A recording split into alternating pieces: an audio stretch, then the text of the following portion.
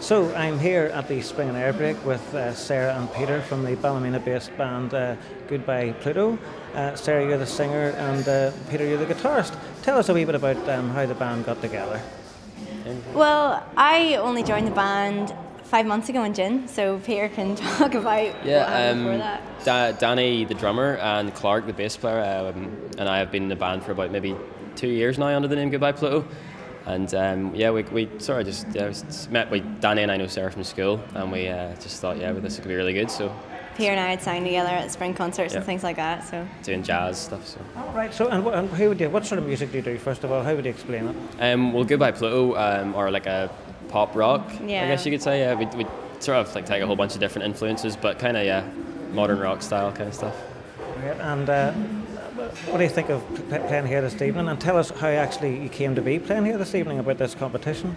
I think it's pretty cool that we're playing here today. Like I'm pretty excited. But um, I was uh, in the car and heard on the radio about this competition and said to the guys, and then Clark entered it. So Yeah. yeah. It, it was uh, like an online public vote. Uh, judges picked five bands, um, and we were in the top five.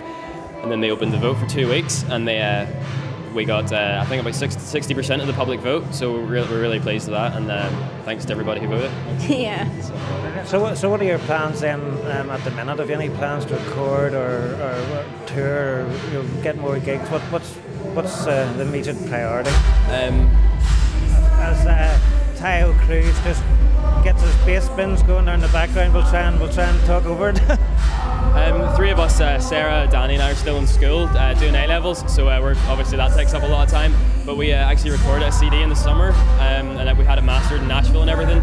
So uh, we're hoping to release that uh, hopefully before Christmas time. So, Pretty uh, soon. It's Yeah, like yeah, it'll within the next couple of weeks. And uh, we're just we're gonna take it easy, kind of until May June time, until our exams are over, and then we'll, we'll see how it goes from there. but you're thoroughly enjoying it.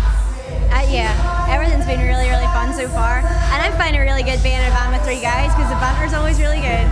So, Uh, listen, lovely to chat to you both, and I hope the band goes uh, does really well. Enjoy yourself here tonight. Thank you. thanks very much.